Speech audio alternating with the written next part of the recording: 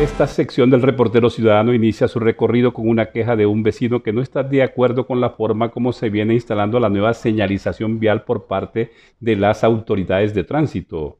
¿Qué función hacen estos separadores de vías aquí en una, en una carretera reducida de dos carriles a un carril? O sea, no me explico ni, ni, ni, ni qué, ni le haya dado la razón ¿Qué función hace esto? A cerrar una vía para dejarla en una sola vía.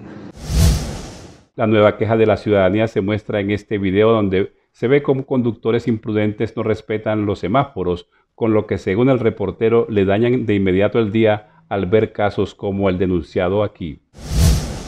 Y desde la Comuna 7 del distrito denuncian que llevan varios días con esta situación que les afecta a todos los vecinos de este popular sector de la Bella Hija del Sol. Nuestra comunidad está cansada de tantas mentiras y necesitamos solución. señor, desde el 2007 engañando a las comunidades que les van a comprar y nada y este reportero ciudadano del barrio Nuevo Milenio en la Comuna 4 denuncia un sumidero de agua que lleva ya un buen tiempo, según su relato.